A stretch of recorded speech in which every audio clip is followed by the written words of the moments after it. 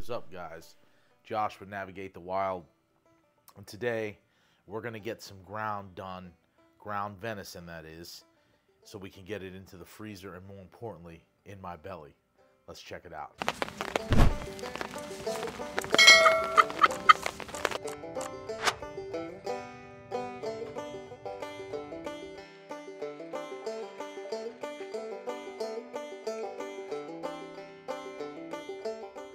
If you're going to step into the world of grinding your own meat, which I love, it's very fun. You get great grind blends for your home, for your family. It really helps clean up some of the odd bits and pieces of the venison that you're not really sure of, or maybe you don't really want to uh, eat. Um, maybe it's a little more chewy. You just don't have the time to invest in, you know, smoking something or uh, slow cooking something, or you're a family like ours. My family, we have five of us here, and we eat a lot of burger, and I love it. My family loves it. Chilies, pasta sauces, meatloafs, but most importantly, burgers. We absolutely love burgers. I don't mind having a ton of ground because we're going to go through it. There's a small family owned grocery store locally, and they provide me with my fat content because remember, venison, it's a game meat, very lean. I like the 80 20 ratio. And so for every four pounds of venison, I add a pound of fat. I can get pork, I can get beef, but I go with the beef. I think it has a little more flavor to it. And so I picked up 16 pounds of beef fat today, beef trimmings that we're gonna trim up, get ready for the for the grind.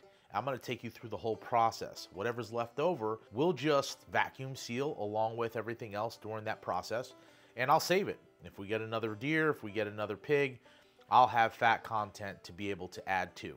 So all these pieces of equipment, they can be added to your uh, gear list over time. But don't feel like you have to buy this stuff at all at once. There's so much gear that you get into between the field and actually taking of game and then to the kitchen. And so I'm gonna kind of show you what my setup looks like out in my garage, AKA the Navigate the Wild Studios, and where I store things, how I store things, and then we'll get into uh, how I set up to prep for grinding meat. So what we have here, these are a few different bins that have purpose. On the right, is my wife's camo and older camo that I don't wear anymore. On the middle is my First Lite gear. And this far left one is all my processing equipment. So right out the gate, you can see I have three small bins and one big LEM bin. LEM on the side. LEM makes fantastic food processing, meat processing, butchering stuff. So if you can get your hands on those, great. I've even seen gray bins at Sam's, three for 14, that are slightly bigger than these middle ones, but they stack together well. And this is kind of like my hunting slash shooting, servicing type of setup here, right? So I don't have a ton of room, so these kind of live on top of my bin. So I always have butcher tape and, uh, you know, some type of Sharpie, and this just helps cut butcher paper which we'll show you later. I acquired that little thing at some point. When you open this up, what we have here is mainly our LEM Big Bite rolls of vacuum seal, my vacuum sealer, which is just the food saver one. This is where all of my uh, grinding equipment and uh, meat preserving equipment sits. We're to pull this thing out, get it set up, and then I'll show you what I do with the internals while we're waiting. To begin with, you want a handful of things. Cutting board is an essential tool. It's great to have a large cutting board. I think I got this one at Sam's. I got the LEM Big Bite here. All the pieces that we're going to push meat through are in the freezer right now, and we're going to let them get cold. You want them as cold as possible. And then I'm to use some olive oil and just lightly coat the plate, the auger, the blade, just to help with heat retention. and stress on the motor. I also have Victorinox boning knife. Just helps to uh, cut things up. I love Victorinox. They're easy to get an edge on, and they're pretty affordable. So all of my kitchen knives are basically Victorinox. This is just a food scale. That way we can measure uh, how much fat we're gonna end up with, which I'll show you that in a second. Metal bowls, I have a big one with the meat. And then this one here, uh, and this is going to basically go on here. I'm gonna zero out the bowl itself. And then we are going to weigh the fat. And I'm gonna try to get like, this is 16 pounds of beef fat before we start trimming it all up. Um, I'm probably going to get about six pounds in here. I don't know how much we're going to need just yet. I got to measure out how much actual grind we have. So that'll be the next step. Uh, so what you do, turn that on. It's already zeroed out. I'm going to use a small one. And we're going to trim all this up so we can go through the meat grinder. It's Pretty frozen. Five. That's six. Okay. The rest of this, I'm going to vacuum seal after I trim it or cut it down to size and we'll put it in the freezer because it'll stay. For right now, we're just going to put it in the fridge. The goal here is to take this fat and we want to cut it up. We want to get these in chunks that we can get through with relative ease. So I just, you know, nothing crazy. This is all trim off of different cuts of beef from the local butcher store. It's still pretty cold, which is great. You want cold meat. You want close to frozen meat. So right now I have our bowl of grind in the freezer getting cold because it's been in the fridge. This is cold enough, so that's great. Once this is all trimmed in the pieces that we can work with, we'll put it in the uh, fridge because it's so cold. And that'll help it break apart a little bit as well. You know, if you gotta sharpen your blade, you sharpen your blade, you take time. You know, it's just, it's very satisfying being able to grind your own burger. I had a kid come over, uh, a young man at church, and we were talking, and he's asking more and more questions about um, hunting and different things like that. And so we started talking about burgers because he loves burgers. And I said, Yeah, I grind my own burger meat. And he was like, You do? I was like, Oh, yeah, dude, it's the best.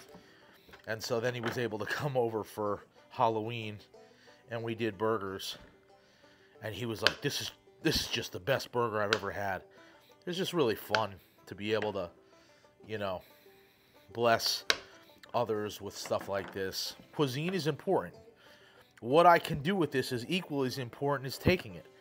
And so I really wanted to be able to make something delicious for my family and friends. That, that was a big part of hunting. Like I did I got into hunting for meat. If horns are attached to it, that's even better.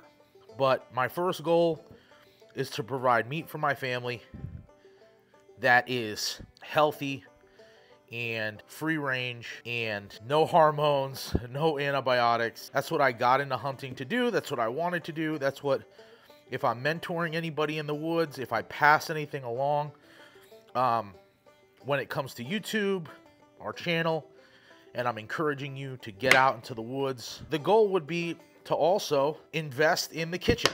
Learn how to do great meals with the meat that you have been provided. Here's an essential uh, piece of kit. If you've been thinking about it, you're on the fence. Argali game bags. They're reusable, washable. These are four seasons old. They're still running hard. When it goes into the fridge, I keep it in a bowl like this and I cover it with the Argali game bag or I'll put before I process it because I'll I'll let it sit in the fridge for a week on the bone. And I'll just cover this with the Argali game bag, the pieces of meat that are in there. Right?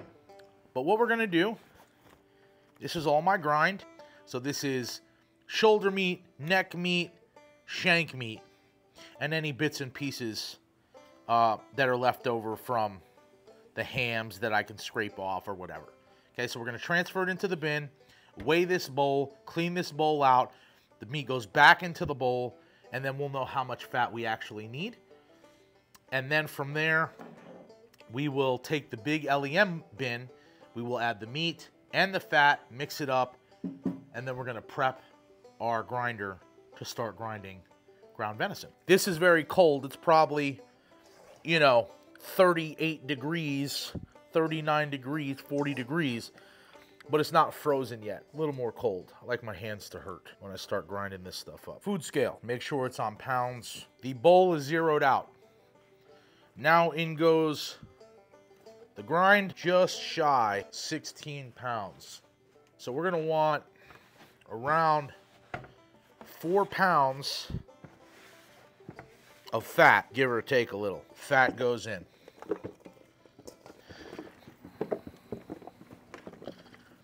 So this is going to go into the freezer uncovered and we're just going to let it keep getting cold while we set everything up. I bought a knockoff foot pedal for this grinder. It's worth its weight in gold. Okay, what it does is it just allows you to not have to rush and it doesn't continually add heat to the motor. We're gonna go ahead and pull out all of our pieces to assemble our grinder. You'll see what that looks like and how we just oil everything up quick. For those wondering, this is the Big Bite 8. You can tell how cold it is. Slide it in. Some guys say let this stuff sit in the freezer for about 45 minutes. I'm to do two grinds. I'm to do a coarse and I'm going to do a fine. There's the blade. That's our coarse grind. And then this screws on. For the coarse grind, I almost never need the plunger. For the fine, I might. Uh, I think this is a half horsepower. I'm going to add a bunch of meat up here, and then we're just going to start grinding it coarsely uh, to begin with. Here we go. And you can see it just coming through coarse. We're going to end up with about 20 pounds of venison.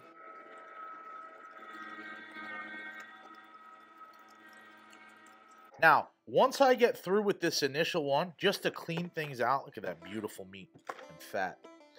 I will put a handful of ice cubes through as well. And I only do one at a time because it will freeze up and bind up in this LEM. So I just, nice and neat, nice and easy. And that'll help just push any bits of fat. And you'll start, you know, you'll see the ice come through the plate. And you know that everything is pretty clean. It'll look much more appealing in the fine grind. The fine grind just is like where the magic happens. make some room. We're kind of maxing out this bin. And I have just a little bit left. I think we can fit it. Now, once we grind all this, it's going to go back into the freezer while I clean up and set up for the fine grind. So like I was saying, a couple ice cubes. And we're just going to focus in down here as we drop a few ice cubes in. And that's just pushing through any leftover fat or meat that's been bound up. Now you can kind of see it's pushing through. Oh, it's pushing through ice. You could actually see it. Right? See that? So we know for the most part that blade is clean. Now all we're doing I put paper towel here just to catch whatever's left. You always get a little fat bound up. We're going to pull this out. And push around the blade. Goes back in. Now we've got our fine blade. It's to pop on. And this one goes back on. I, I just clean everything at once. I don't take one blade out and then start cleaning it and it's just easier for me to do it and I do it first outside in a bin and I'll use my hose. That way I have quite a bit of pressure to be able to clean that off. It knocks all the fat and all that stuff off. This is where the magic happens as far as I'm concerned. We went with the coarse ground. Now we're going with the fine grind, right? This is where we get into using the plunger a little more. Okay, let's let's get going. And look how nice that blends, man. Just beautiful. Beautiful ground. I get so excited. But if it starts to bind up a little bit or slow down the feed, you just take your plunger and you don't force it down. You just allow the plunger to kind of sit on top. and what it does is the plunger doesn't allow it to back up on itself. All right, so I'll show you what I'm talking about. So here's the plunger. Plunger goes in the top, and it's just, I'm not applying pressure. It's just going down. Right? And it just doesn't allow that auger to back up at all. You don't want to get to where you're pushing down because then you're putting undue stress on that motor. And especially with a cheaper grinder that has plastic gears, like they'll just strip and you're screwed. You just wasted money. But look at that grind, man. The fat's all mixed in with the venison. I mean, the, the, the coarse grind is great, but man, the fine grind is where it's at. That's where you really get a good mixture of the two. Just smells really fresh. And again, we'll grind a full hopper. And then we'll just push it forward make room for the, the next batch. We like our burgers a little larger, so we'll do, you know, two pounds in one package or something. I like to try to shoot for like 60 pounds of ground. So this is 20. If I get a doe during doe week, which opens up soon, and then I get another deer, maybe with a doe tag, if I'm fortunate enough to get my hands on one, you know, probably another 30 pounds of grind. So that puts us right there. And then I got one, I got a deer during bow season, opening weekend. So that's another, you know, let's say, you know, another 10 pounds. So it puts us at about 60 pounds of ground for the season. That's not bad, man. I'll give a little away and then we'll keep the rest for us and it will carry us through to September. You know, and I'll still buy ground beef, but what this does is it offsets and it allows me to buy grass fed, grass finished beef or lamb or whatever. So it the payoff is great. I mean, it's really worth it. So this is the last of it. We get this through. Then we're going to clean up, put the grinder away, and we'll bust out the food saver and I'll show you that process. All right, and there you have it. It's about 20 pounds of fresh ground venison, 80-20 blend. This is gonna go in the fridge. We're gonna clean up and then we'll start vacuum sealing it all. I'm gonna take all of these um, pounds of venison and I'm gonna ball them up into the sizes that I want, the weights I want. We're gonna do one pound increments, right? So I take my Argali game bag, doesn't weigh anything, and I'm gonna weigh out. And I just, after a few of these, you get the feel, it's weird, but you get the feel of what, of what you would like, right? And I don't mind if it's slightly over a pound. I don't, I, it doesn't really bother me. So that's 1.3. Again, because like I said, my we're gonna eat it. So if I have a little extra, I used to be like, ah man, I want an exact pound. It doesn't matter to me. And I just do this all at once because it makes the process a lot smoother when you start packaging it up. Right? So you're not like going back and forth and do, you do it all at once.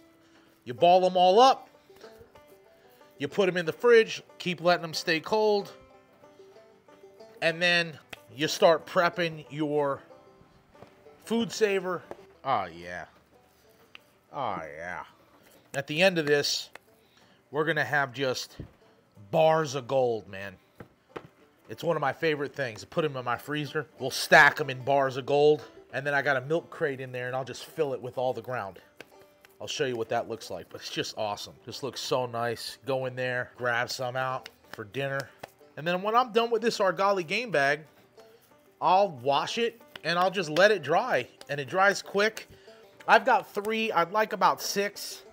I've been trying to get them uh, on their website and they've just been sold out for weeks you know, hunting season, man, it's just hard to get your hands on stuff. These things are gaining in popularity. But I carry them in my kill kit, and it's just, it's just awesome. It's awesome to have. Awesome to have in the field, man. Nobody I hunt with uses game bags. I started with cheesecloth because back in the day, that's all you could find. That's what I was watching Rinella use in the beginning, cheesecloth. But they reflect, drawstring, keep them from bugs and debris. You could hang them up. They sell them in elk bags. These are the smaller game bags. But I can put two deer hams in there. All right, folks, and there you have it. Meatballs. Gigantic meatballs. All right, we've got a food saver here. And you could usually get these online, Amazon, whatever. This one has an integrated cutter, which is nice. I usually cut and then I will vacuum seal one end. You roll it out, you drop a seal real quick, it only takes a few seconds, and then I snip and I move off or to the next step. Once we get all of them laid out, then we're just dropping them all in and then we're sealing them, wrap them in butcher paper. The reason I wrap wrapped in butcher paper because as this vacuum seal paper or plastic sits in the freezer, sometimes bones poke it, sometimes it just breaks down because of the cold over time. And so, you know, you're in a rush, you take something out, you put it out to defrost in the fridge, you don't put it on a plate, and you put it just in this, and you get home and there's blood all over the fridge from it defrosting. So I like to take that extra step. It seems like the butcher paper really safeguards the plastic wrap and you don't have to worry about coming home and cleaning up a mess before dinner. So we got our bags here and we got our meat. What we do is just take it, smush it down. All right, kind of like a tube. Just like that. Off to the side. Now we're just rolling them into tubes. You hit moist and then you vacuum seal. She said that I didn't screw them up too bad, so that's good. Gold. Bricks of gold. This is the first stuff to come out and be used up. All the new venison ground. Oh, I've got like a pound and a half of elk, so that's gold because we don't get elk much at all. Actually, that's the first of it. And this is all going to go in, and then it goes back into the freezer. So I'll show you what that looks like. So we have our filled milk crate here. It's to go, oh, it's to go in the fridge right here. I picked up some ground bison from the grocery store today, but it sits on that little shelf. That, that's it, guys. Start to finish on how we do ground venison or ground beef or ground whatever we grind. I hope you found it informative and encouraging that you can grind your own meat. You don't have to always buy it from the grocery store. Uh, it's just a great thing to be able to know how to do, and it's relatively easy. You need a few pieces of equipment, but like I said, you could get those over time, and you don't have to get an expensive grinder out the gate. You can get a hand grinder. I've actually even thought about investing in a hand grinder just in case the electricity went out for some reason at some point. It's just a good option to have. It's relatively affordable. LEM, I think, sells one still. But you don't have to have a big bite to grind your own meat. And there's just something that makes you feel primal about grinding your own meat. And it's even better when you grind your meat and then you have a burger from the grind that you just made. So, anyway, get out there and navigate the wild.